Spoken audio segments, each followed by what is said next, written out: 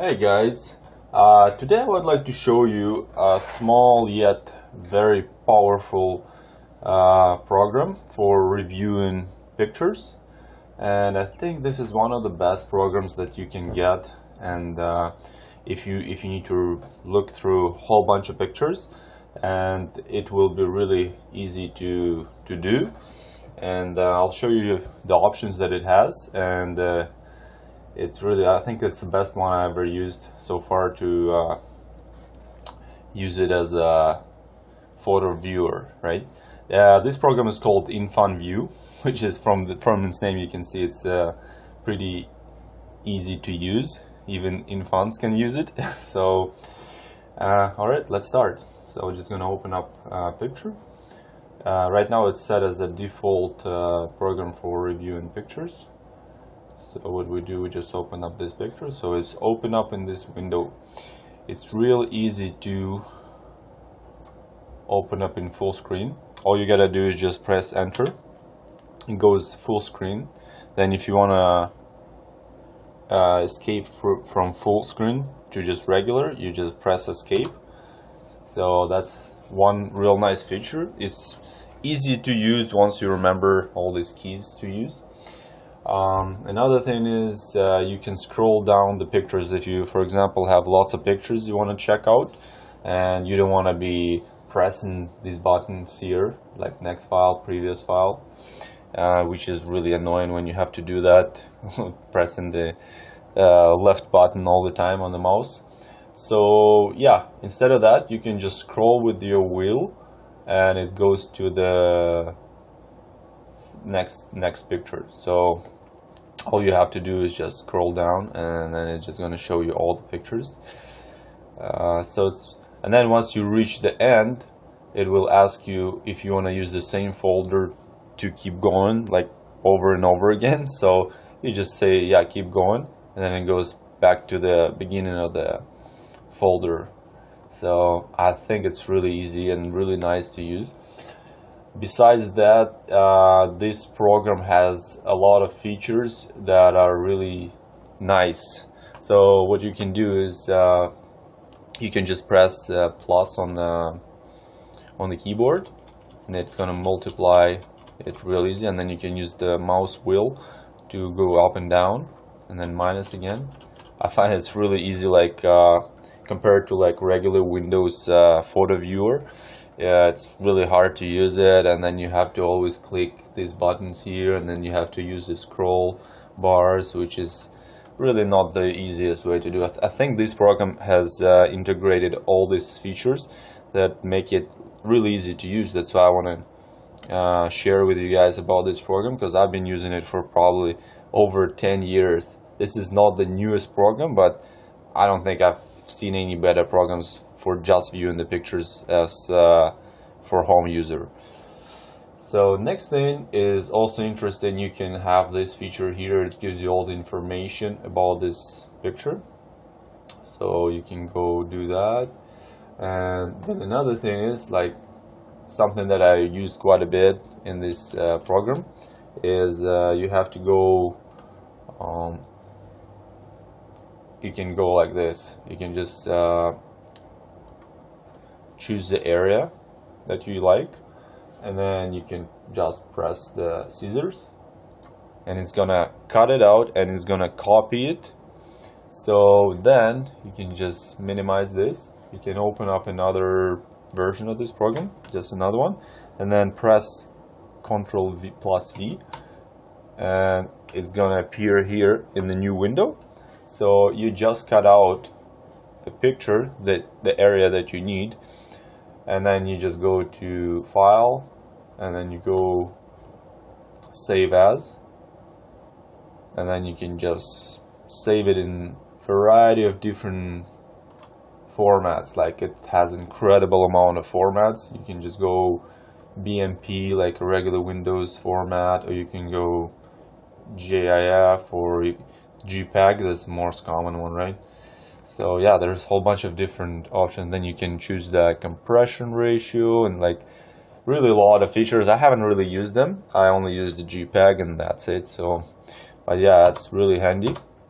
And the next thing is what you can do is uh, I use this option quite a bit. So for example so yeah you can close this then you can go back and press Ctrl Z and it's gonna come back right? And uh, the next nice feature about this program that I use quite a bit is uh, the image. You go to the image and for example if you need to resize the image and get it smaller for some reason uh, if the website doesn't accept uh, such a big picture or if you want to just get it smaller size for because um, you don't need it to be that big you just go to resize resample and here you can adjust the uh, the size of the picture by pixels. So these are the 2000 4800 by 1152 pixels. So you can do like let's say a thousand. And it automatically keeps the aspect ratio to 580 uh, 63 so you can also make it in centimeters or inches which I have never honestly done you know mostly do it in pixels. And then uh, yeah once you resize it to this size there's a lot of other options. Or you can just choose from some presetted ones. Um, yeah just press ok. And then this picture you just go to save it. And then after you save it you'll see that the size of this picture. So let's just do a comparison here. So we'll just go save as and then we're just gonna save it on the desktop. Okay. Oops. No. Okay let's just uh, save it as yeah we gotta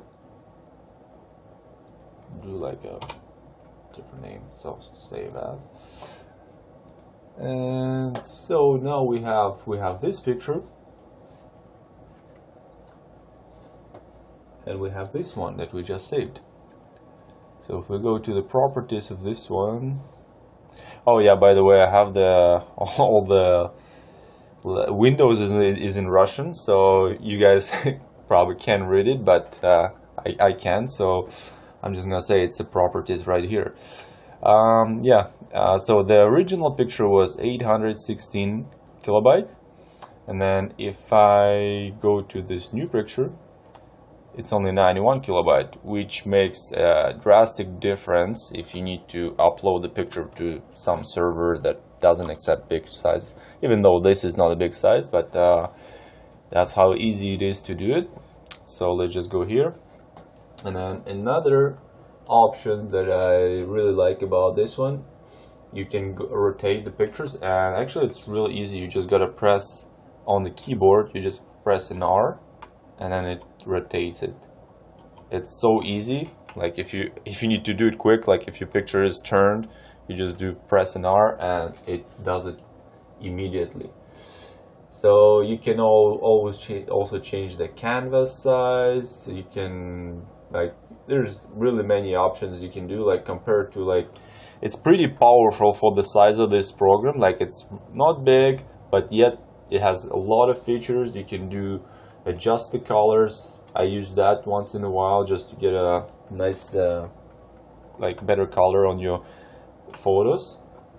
And there's other things that you can use but um, the bottom line is that this program is really small.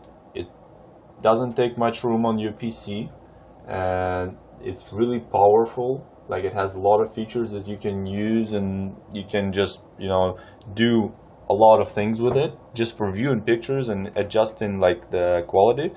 And the best thing about it is that it's real easy to use. Like it's really user friendly and it doesn't take long to figure out how it is uh, to use this program.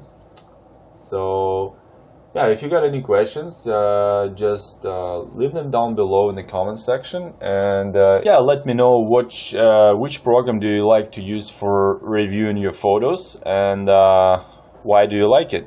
And that just be interesting to compare and uh, see. Maybe I'll do another review for the program that you like but it's interesting to see which who's using what, right? So you hope you have a nice day, guys, and uh, see you pretty soon. Thank you. Bye.